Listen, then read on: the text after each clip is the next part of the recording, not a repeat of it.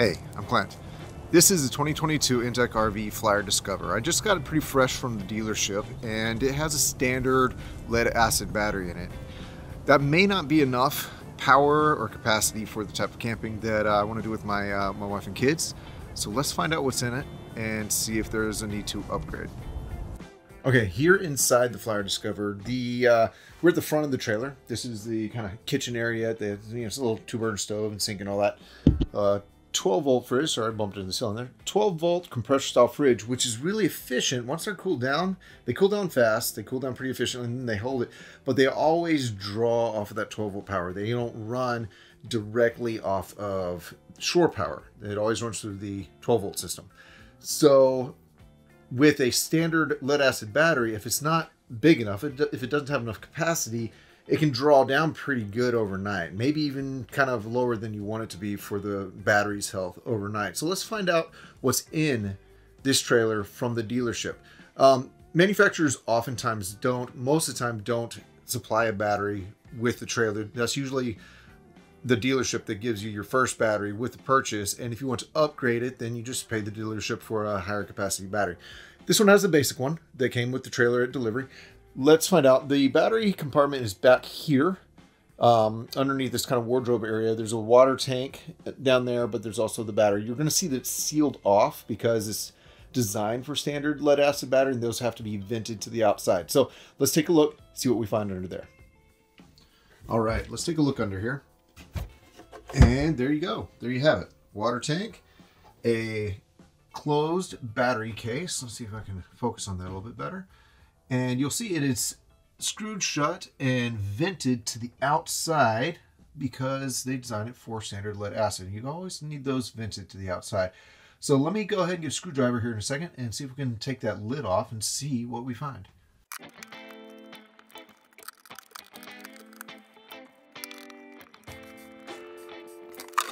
Okay, we got the lid off and let's see with this, if we can get our eyes on this, it's an interstate battery. Um, looks like a dual purpose 24 group lead acid battery. Let's uh, let's get this thing out of here. See what else we can learn. It looks like two fuses here.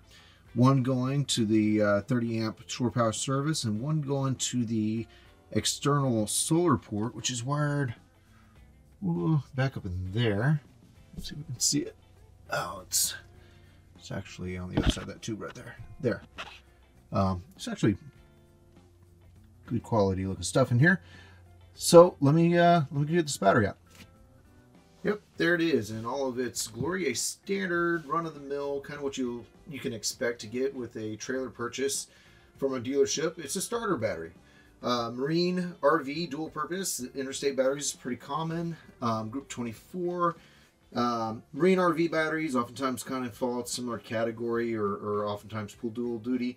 Reserve capacity, it says 100. So to me, that means that it's um, 100 amp hour.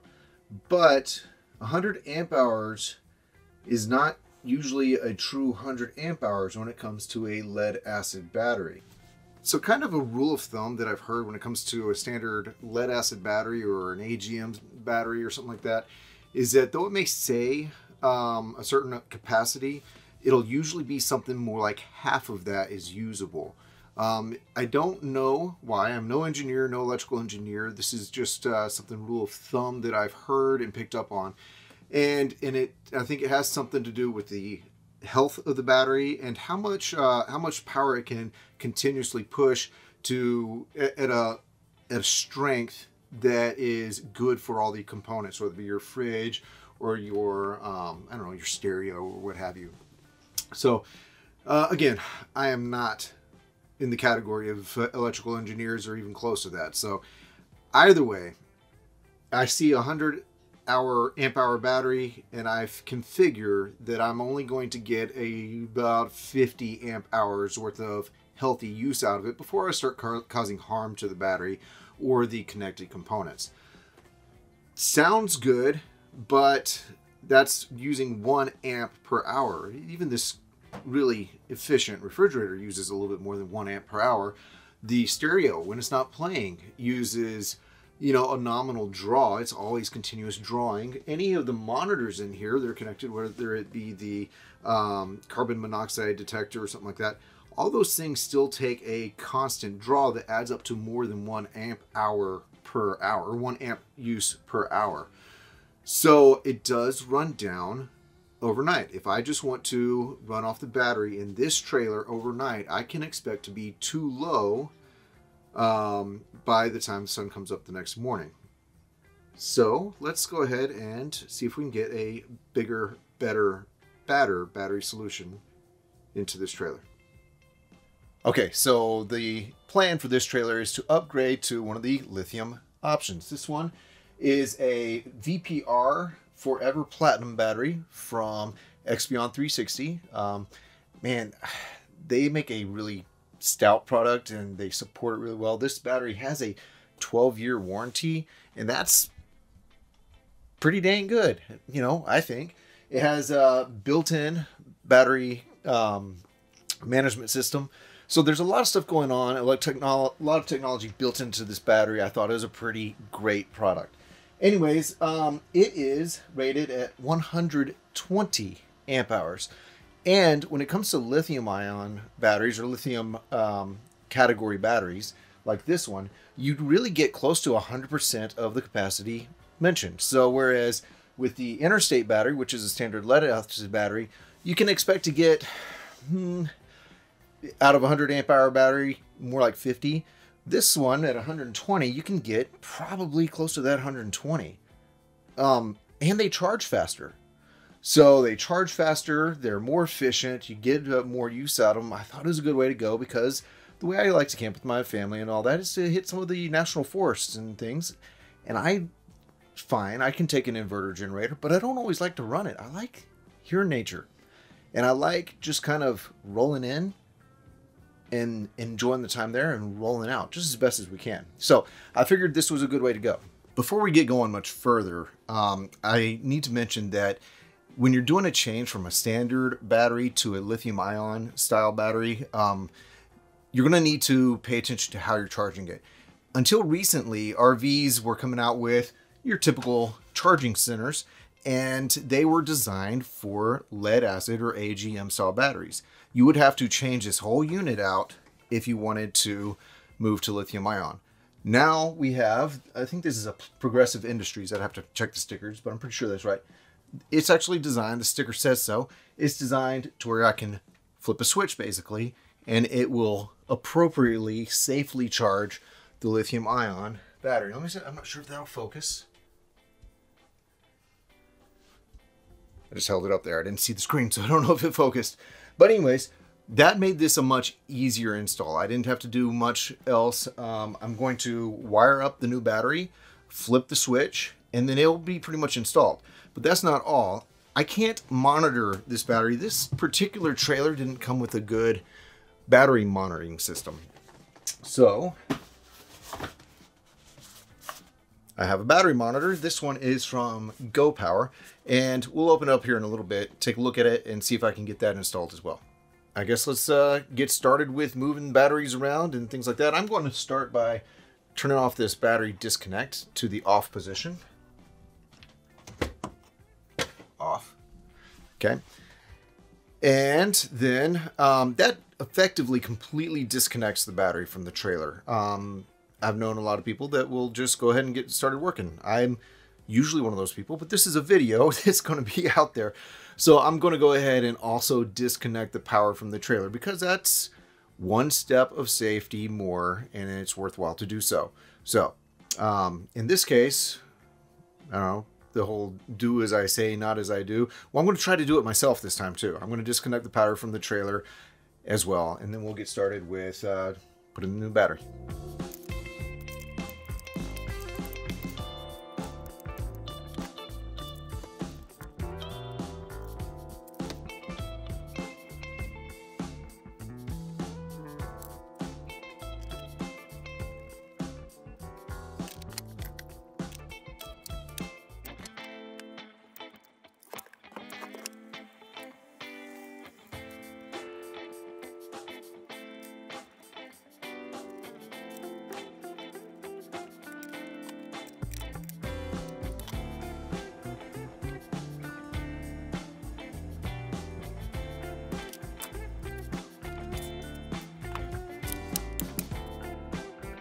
Okay, I know that switch is somewhere in there, but I can't see with my uh, eyes. I don't really know what I'm looking for, so uh, Google to the rescue. Here's a manual on my phone. It's too blown out. So let's go ahead and switch this camera down to something that might be able to use. Okay, and then we'll see if we can focus. There we go. So that's a picture of the unit. And you'll see way down here in the bottom of the schematic, it's not schematic, of the picture, is this little bitty switch. So it's going to be way down here. So, and it says, it looks something like this. And it's in the off position from the factory, but it needs to be moved to the on position. Let's see what it says here. Output mode switch. Shown in lead acid position, toggle to on position to use with lithium batteries. So that's what I'm going to do. I'm going to go look into that lower portion of the unit and find that little switch that you see right there.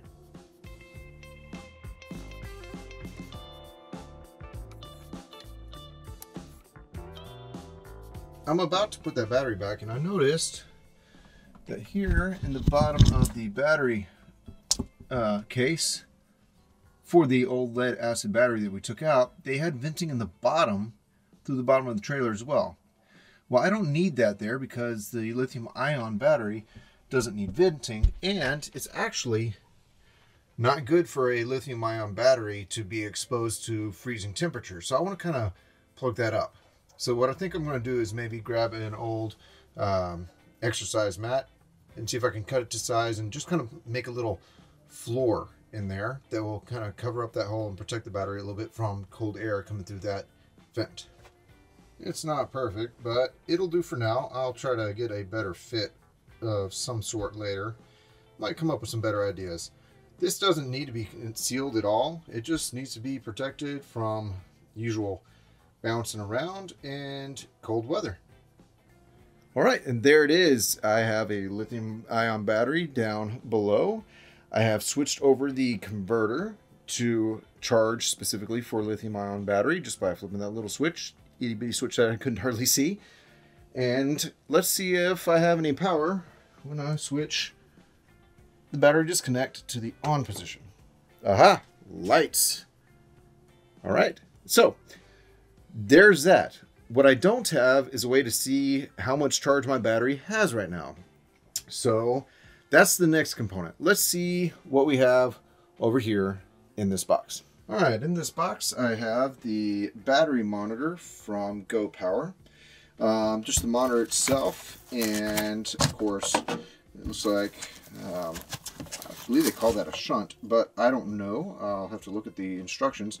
Um, I'm going to have to go online and see what the online manual says for installation of all these components. Then there's a wire that goes I believe, and again, I'll have to check, that tells me I'm probably going straight to the battery terminal there.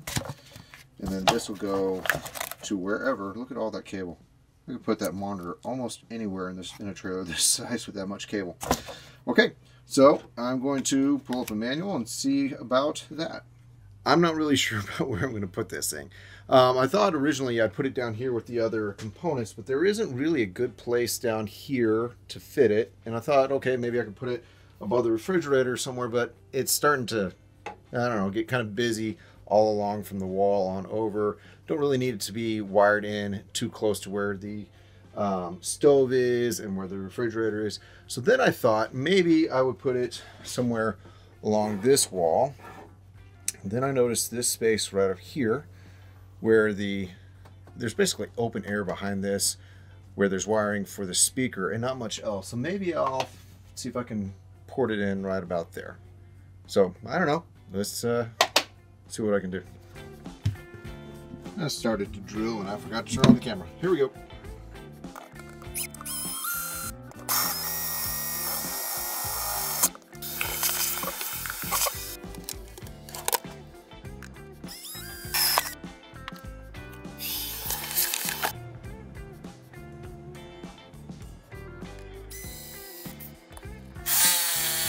I have an apology to make.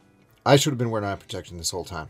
Um, something I need to get better about doing. But if you're going to take on a project where you are cutting or grinding or anything like that, drilling, eye protection. So, sorry about that. Let's move forward. You may have picked up on, I don't really know what I'm doing. I'm a hack, but my saw didn't have clearance around the bezel of the speaker, so I had to take the speaker out because I can't get this top part cut because I was running into it. I just couldn't get the saw close enough. So here we go, last few little bits, and then uh, then we should be able to see if it fits.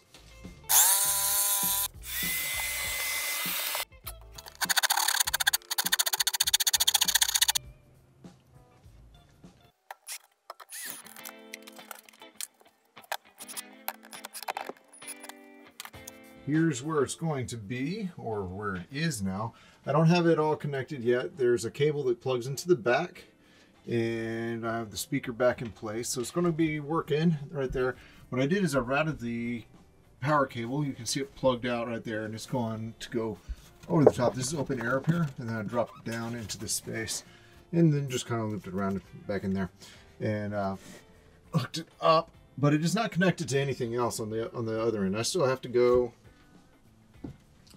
down there and take care of the other equipment. So let's go get after it. Project status update. It's significantly later. It's now mid-afternoon, almost late afternoon.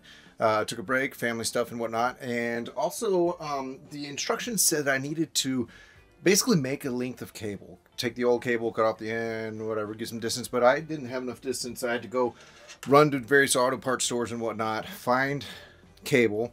What I went with was some 8 gauge cable. And it's for the negative side of the battery. And yet all they had was red, which typically means positive. So I made a length of cable and I got some, you you might laugh at me. I got some white heat shrink wrap, which is the same color white as what you will see down there. Whoop on the negative side cable. So that way, in the future, I am a little bit less likely to make mistakes by having a white cable. So there's a red jacketed cable inside there, insulated cable inside there. And now it's got a lot of money and shrink wrap on it. It looks pretty dang ridiculous, but I think it'll work. Okay. Um, I'm not going to be mounting this thing just yet. I haven't really decided where I'm going to put that shunt in there. What I'm going to do is I'm going to wire it up for kind of proof of concept, and then I'll probably end in this project for today there so I can, you know, do dad stuff. All right. Let's see how this goes. Might hear my son in the background. He's come outside. He was uh, needing to get outdoors. So that's the sound in the background. What are we playing with right now. Oh, our loop might be a little bit The post here on the battery is perfectly sized for the 8 gauge wire that they use, but it's not perfectly suited for the post on the shunt. Notice that the post on the shunt, yada yada yada, wouldn't fit. So I had to take it. You may notice here, I had to widen one of them. You may not be able to see that. That way I could actually get this through here. So now we can try to wire up the components. All right, yet again, my son's out here playing, so uh, bear with the extra noise.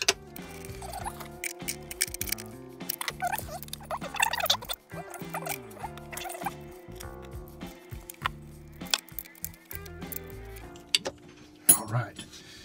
Now, you may notice it's kind of like what the description shows here. Let me go check what my son needs. Sorry, it's uh, it's getting a little bit later in the day, and so obviously it's getting where my kids need a little bit more attention, which is fine. That's what I should have be, been doing already. So this is what I'm trying to do. You'll notice the uh, arrow direction here, in the shunt, and so I've connected the battery, and then I've gone out to the rest of the components. So if I line them up kind of like that, you'll see that that picture largely lines up with that picture so far. What I'm missing is this little connection here from the positive side, and then this wire coming out here. Now that wire has already been connected to the back of the um, monitor, and it's way out here. It's such a long cable. So there it is. So it's ready to plug in here, but I'm going to run this little connector cable there first, and then we should be in pretty good shape to test it. Again, I'm running out of time with my family, so I need to just basically get this into proof of concept kind of condition. The screw that this little, oh, camera, that this little wire end right here goes into is tiny, tiny, tiny, tiny. So if you have got any of those a drawer full of little bitty screwdrivers that you keep on getting for Christmas and you don't know when the heck you're going to use them, well, I went and found out the drawer, found one of those kits, and today's the day.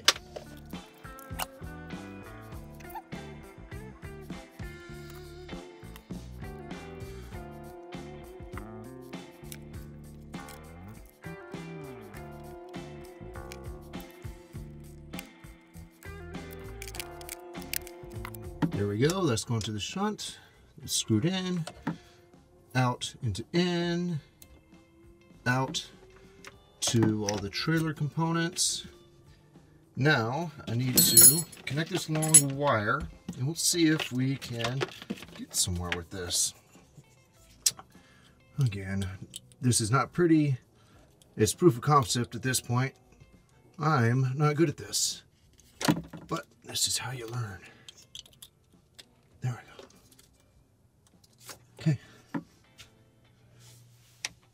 Let's come up here to the top.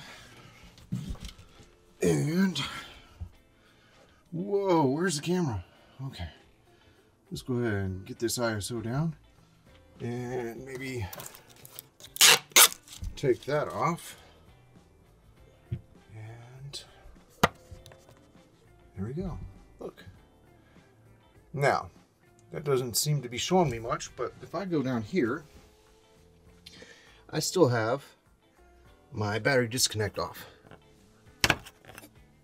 Battery disconnect is now to the on position. And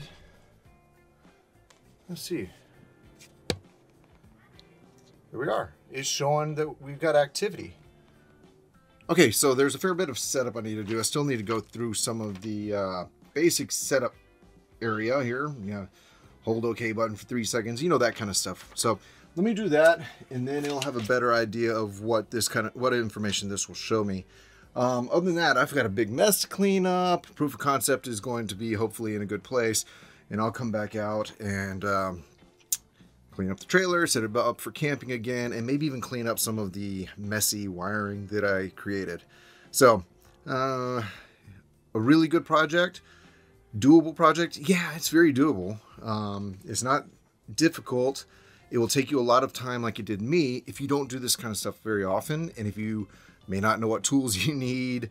Um, so if you bumble around a bit it's fine. Um, just make sure that you have the time and you've cleared it with your family and your small kids.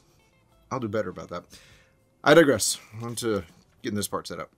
Well it's it's not a completed project because it's still quite a mess in here and um, I really don't want to tidy up the wiring and all that. I don't anything to get snagged on whenever, whenever I get down into those cabinets.